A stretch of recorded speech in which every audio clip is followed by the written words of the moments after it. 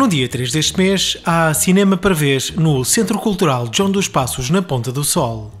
A Rapariga da Mala, um filme de Valério Zurlini.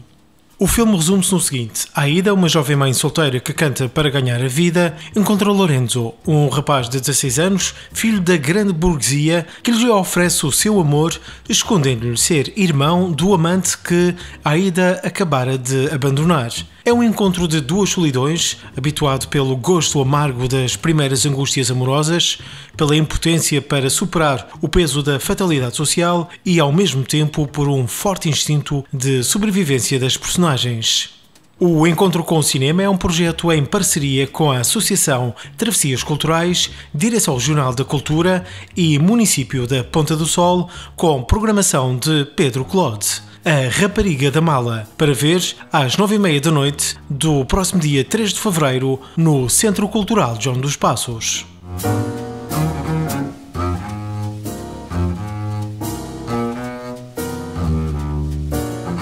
No âmbito do ciclo de concertos na capela da Fundação Princesa Dona Maria Amélia, hoje será realizado às nove da noite o concerto pela Orquestra de Cordas Ensemble 21 da Orquestra Clássica da Madeira.